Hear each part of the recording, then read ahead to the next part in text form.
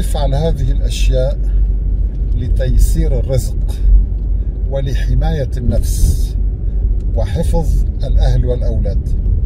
هذا الكلام أيها الأحبة أنا أستند فيه إلى آيات من القرآن العظيم وإلى أحاديث صحيحة عن نبينا عليه الصلاة والسلام. يعني كلكم تذكرون عندما جاء رجل وشكى همه للنبي عليه الصلاة والسلام. فعلمه دعاء تفريج الكرب وذهاب الهم. لا إله إلا أنت سبحانك إني كنت من الظالمين. إذا النبي عليه الصلاة والسلام يقرر أن الدعاء أو أن هذه الكلمات فيها مفعول لتفريج الكروب. ولها مفعول قوي لإبعاد الهموم أو طرد الهم من صدرك. طيب في القرآن الكريم الله عز وجل عندما أخبر النبي أنه يعلم أن هذا الحبيب كان يضيق صدره مما يقولون وبما يقولون. فكيف علمه طريقة رائعة للعلاج؟ قال له فسبح بحمد ربك وكن من الساجدين. إذا علمه التسبيح والسجود كعلاج للهم. والإنسان عندما يضيق رزقه أيها الأحبة يكون في قمة الهموم. قمة الهموم تتراكم على الإنسان أثناء ضيق الرزق لأن معظم المشاكل يعني حتى المرض يصبر عليه الإنسان يسلم أمره إلى الله سبحانه وتعالى يستسلم أمام الله سبحانه وتعالى. ولكن الجوع والعطش ونقص الرزق الإنسان صعب أن يتحمله. وبالتالي يعاني هذا الإنسان الذي ضاق رزقه يعاني من هم كبير. عندما يقول لا إله إلا أنت سبحانك إني كنت من الظالمين هذا هذه الكلمات سبب في تفريج الهم أخي الحبيب. سبب في ذهاب الهم واختفاء الهم وإبعاد الهموم وطرد هذه الهموم. الشيء الثاني عندما علم الله عز وجل حبيبه محمدا صلى الله عليه وسلم طريقة لعلاج ضيق الصدر فسبح بحمد ربك وكن من الساجدين واعبد ربك حتى يأتيك اليقين. إذا التسبيح بمجرد أن تقول سبحان الله هذه الكلمة فيها طاقة شفائية وطاقة هائلة جدا موجودة فيها. نحن لا لا نفقهها. تماما الشجر والمكان من حولنا والكون والمجرات والنجوم وكل الكائنات وإن من شيء إلا يسبح بحمده ولكن لا تفقهون تسبيحهم. إنه كان حليما غفورا. طيب إذا كل شيء يسبح بحمد الله ولكن لا نفقه. إذا هناك الكثير من الأشياء نحن لا نفقهها أيها الأحبة. ولكن عندما نكثر من التسبيح نلمس نتائج هذا التسبيح. ونلمس فوائد هذا التسبيح وقوة هذا التسبيح في علاج الهم ومن أكبر أنواع الهموم ضيق الرزق وما يولده من هموم. الشيء الثاني أيها الأحبة أن النبي عليه الصلاة والسلام عندما وجد أحد الصحابة في غير وقت الصلاة في المسجد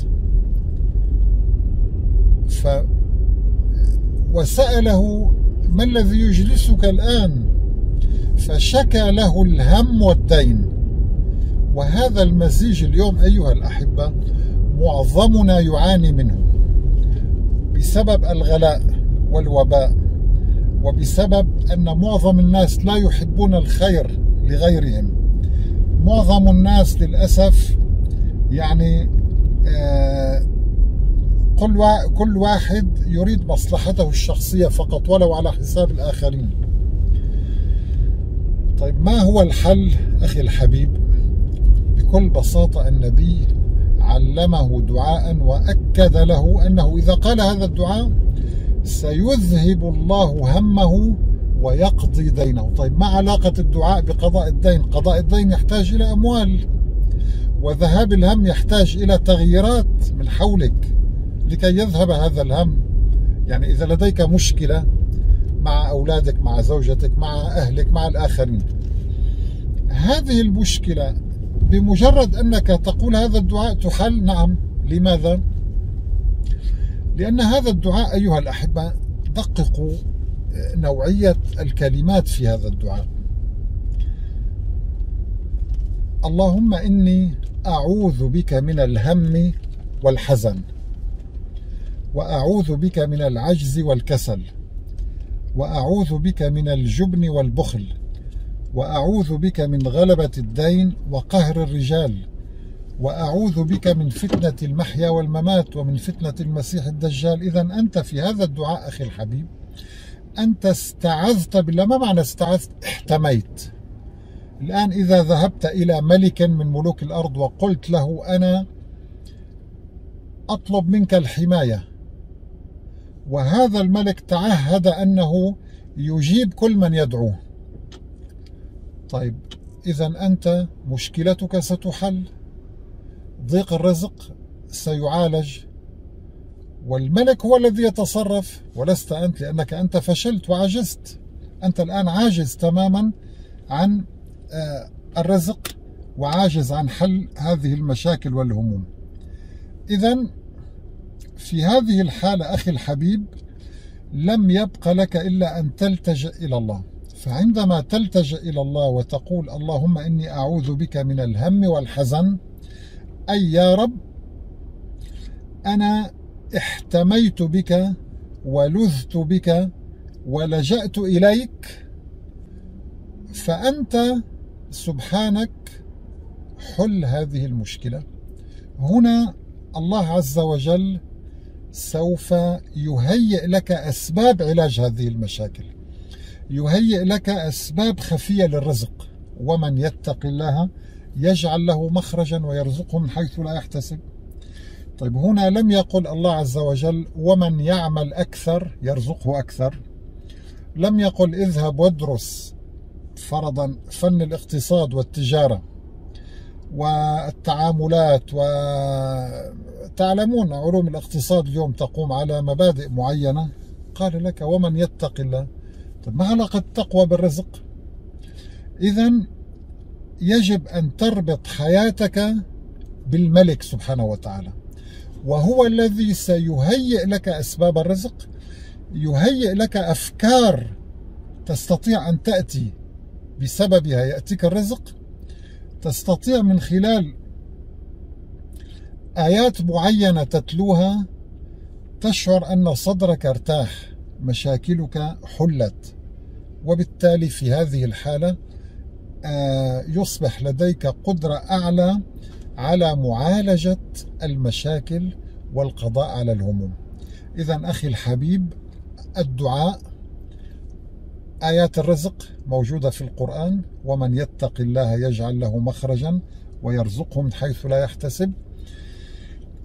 آه الأدعية التي علمنا إياها النبي عليه الصلاة والسلام التقوى أن تلتجئ إلى الله أن تسلم أمرك إلى الله أن تلتزم بتعاليم القرآن. اليوم عندما تلتزم بما أمرك الله به أنت أصبحت من عباد الله الصالحين أصبحت من أولياء الله. والله تعالى يقول ألا إن أولياء الله لا خوف عليهم ولا هم يحزنون؟ من هم؟ الذين آمنوا وكانوا يتقون. طيب آمنوا الحمد لله كلنا مؤمنون. وكانوا يتقون القضية تحتاج إلى تقوى لتتخلص من الخوف من المستقبل من ضيق الرزق. مما سيأتي في المستقبل. والحزن لا خوف عليهم ولا هم يحزنون. ستتخلص من الحزن الذي هو حزن على الماضي. وبالتالي الله سبحانه وتعالى سيصلح لك الماضي والحاضر والمستقبل. مفتاح السر هو التقوى. إذا غالبا في القرآن أيها الأحبة نجد أن التقوى هي مفتاح القضاء على الهم مفتاح الرزق. ومن يتق الله يجعل له مخرجا ويرزقه من حيث لا يحتسب. نجد أن التقوى هي مفتاح لتوسيع الرزق أيضا ويرزقه من حيث لا يحتسب. يعني من حيث لا يدري. كل حساباتك آه، يعني التي حسبتها تفشل. يأتيك الرزق من مكان أنت لم تحسبه ولم تعمل له حسابا. نسأل الله سبحانه وتعالى أن, أن يرزقنا رزق الآخرة فهو القائل ورزق ربك خير وأبقى. والسلام عليكم ورحمة الله تعالى وبركاته.